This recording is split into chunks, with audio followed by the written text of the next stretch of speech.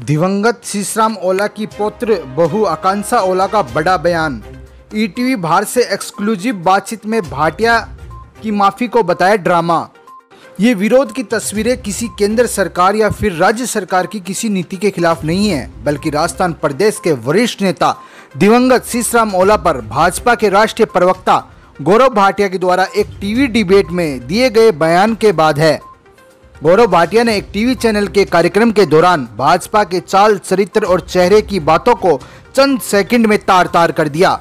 इस बयान के बाद प्रदेश भर में लोग सड़कों पर हैं तो वहीं कांग्रेस के बड़े नेता अपनी प्रतिक्रिया देकर कार्रवाई की मांग कर रहे हैं। इस बयान के बाद राजस्थान में हंगामा शुरू हो गया है। पद्मश्री शीशराम ओला झुंझुनू ज़िले के अड़ावता गाँव के रहने वाले थे। उन्होंने सरपंच से लेकर श्रम मंत्री तक का सफ़र तय किया है। पहली बार दिवंगत शीशराम ओला के पुत्र झुंझुनू विधायक विजेंद्र ओला की बहू आकांक्षा ओला ने ईटीवी भारत से एक्सक्लूसिव बातचीत की है। आकांक्षा ओला ने ईटीवी के कृष्ण ढस्सा से बातचीत करते हुए बताया कि गौरव भाटिया के द्वारा पद्मश्री शीशराम ओला पर जो बयान दिया है, उसकी घोर निंदा करती हैं। उन्होंने कहा कि ओला ऐसी शख्सियत थे जिन्होंने भारतीय सेना में तथा उसके बाद समाज सेवा में कार्य किया। वह केवल ओला परिवार का हिस्सा नहीं, बल्कि किसान परिवार भी उन्हें अपने परिवार का हिस्सा मानते थे। भाटिया के बयान से न केवल ओला परिवार, बल्कि पूरा किसान परिवार आहत है। आज राजस्थान में टिप्पणी के बाद जो लोगों में आक्रोश है, वो उनकी भावनाएँ हैं। ओला सिर्फ़ किसी राजनीतिक दल का हिस्सा नहीं थे, बल्कि हर किसान के परिवार का हिस्सा थे।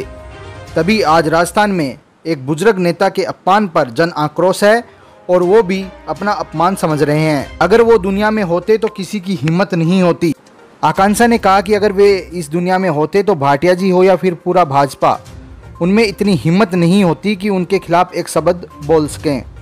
आकांक्षा ने कहा कि भाजपा प्रवक्ता गौरव भाटिया माफ़ी का ड्रामा रच रहे हैं, जिसे वे सिरे से खारिज करते हैं। जब टीवी पर अपमान कर रहे थे तो साफ़ तौर पर उनका नाम लेकर अपमान किया गया। उसी तरीके से टीवी चैनल पर आकर या फिर लिखित में माफ़ी मांगे उन्होंने तो यहाँ तक मांग की है कि भाजपा की ओर से राष्ट्रीय स्तर और प्रदेश स्तर पर माफ़ी मांगनी चाहिए। अगर ऐसा नहीं होता है और भाजपा चुप रहती है तो भाजपा की भी इस बयान में सहमति मानी जाएगी। कोर्ट पर है विश्वास। आकांक्षा ने कहा कि सबका अपना आक्रोश दिखाने का अलग अलग तरीका है। ओला केवल ओला परिवार का हिस्सा नहीं थे, बल्कि आम जन का हिस्सा थे, किसान परिवार का हिस्सा थे। कुछ लोग सड़कों पर उतरकर अपना आक्रोश दिखा रहे हैं तो वहीं कुछ लोग अदालत का दरवाज़ा खटखटा रहे हैं। अदालत अपनी कार्रवाई करेगा।